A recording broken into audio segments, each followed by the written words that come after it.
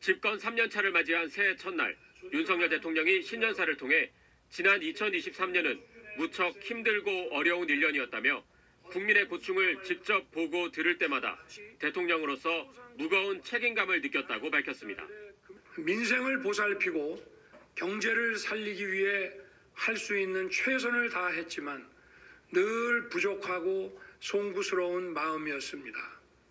윤 대통령은 2024년은 대한민국 제도약의 중대한 전환점이 될 것이라며 글로벌 교역이 회복되면서 수출 개선이 경기 회복과 성장을 주도할 것이라고 전망했습니다.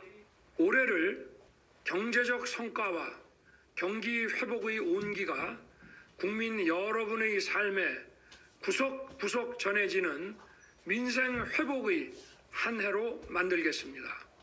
그러면서 노동과 교육, 연금의 3대 구조 개혁을 흔들림 없이 추진해야 한다며 특히 저출산 문제의 해결을 위해선 지금까지와는 다른 차원의 접근이 필요하다고 재차 강조했습니다. 모든 국정의 중심은 국민입니다.